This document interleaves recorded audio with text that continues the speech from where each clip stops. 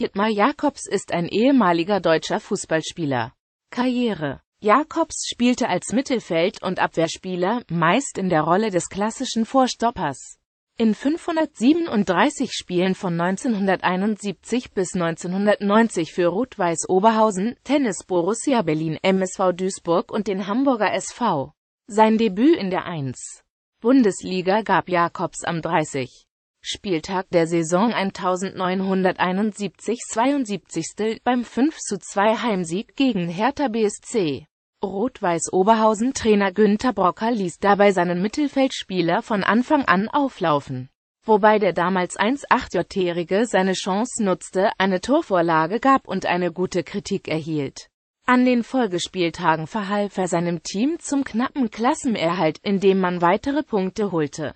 Im Folgejahr entwickelte sich Jacobs zu einer festen Größe bei den Kleeblättern. Doch auch er konnte nicht verhindern, dass er WO abstieg. Jacobs blieb ein weiteres Jahr in Oberhausen, ehe er zum 9. September 1974 zu Tennis Borussia Berlin wechselte, stieg mit diesen jedoch nach Ablauf der Spielzeit 1974-75 in die 2. Liga ab, wo man den sofortigen Wiederaufstieg ins deutsche Fußballoberhaus schaffte. Doch auch 1976-77 verpasste Thebe den Klassenerhalt. Jacobs wechselte darauf zum MSV Duisburg, wo er endgültig zum Abwehrspieler umfunktioniert wurde. Nach zwei Jahren sicherte sich der Hamburger SV die Dienste des Defensiv-Allrounders. Mit den Hanseaten kam seine erfolgreichste Zeit als Profi. 1982 und 1983 wurde man deutscher Meister und vier Jahre später sicherte sich der Klub den DFB-Pokal 1987. Den jedoch größten Erfolg konnte die Mannschaft 1983 verbuchen. Mit Spielern wie Uli Stein, Manfred Kaltz, Felix Magath, Jimmy Hartwig, Horst Rubisch und Jürgen Milewski im Kader schaffte die Mannschaft beeindruckende Ergebnisse im Wettbewerb um den Europapokal der Landesmeister. Über Erfolge gegen BFC Dynamo, Olympiakos Piräus Dynamo Kiew und Real Sociedad erreichte das Team von Trainer Ernst Happel das Finale um den bedeutendsten europäischen Wettbewerb. Jacobs lief in jeder Begegnung des HSV auf und wurde auch im Endspiel am 25. Mai 1983 gegen Juventus Turin in der Startelf aufgeboten. Der HSV gewann 1 zu 0 und konnte die begehrte Trophäe in den Händen halten. Nach diesem Erfolg spielte Jacobs mit den Hamburgern im Niemandsland der Tabelle. Jacobs Karriere endete abrupt am 20.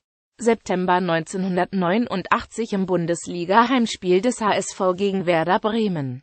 Bei der spektakulären Abwehr eines Torschusses rutschte Jacobs ins Tor und verfing sich an einem defekten Karabinerhaken der Toraufhängung.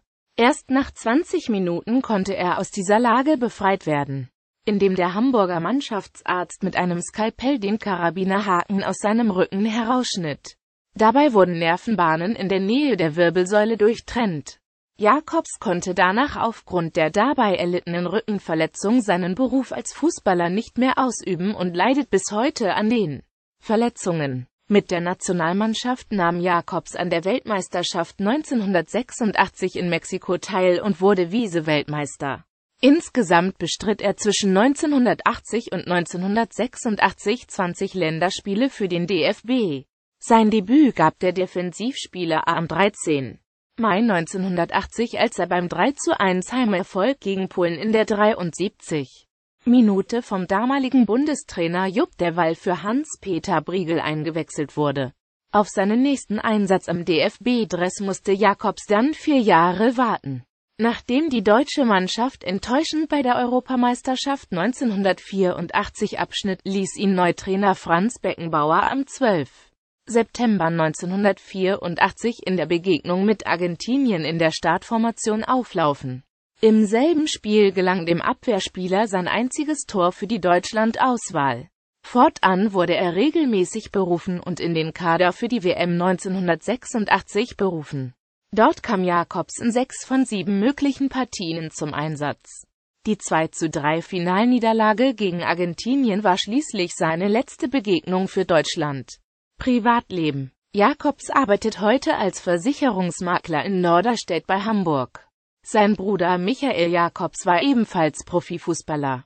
Erfolge Deutscher Meister 1982 und 1983 Vizemeister 1980, 1981, 1984 und 1987 DFB-Pokalsieger 1987 3 zu 1 gegen die Kickers Stuttgart Europapokalsieger der Landesmeister 1983 1 zu 0 gegen Juventus Turin.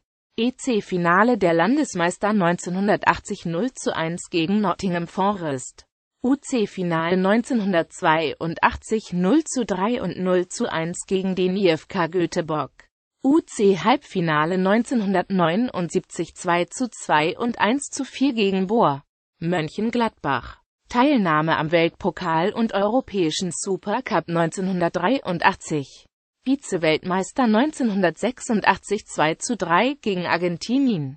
Zitate. Früher konnten wir freitags einen saufen und gewannen trotzdem. Siehe auch. Deutschland bei der WM 1986 in Mexiko.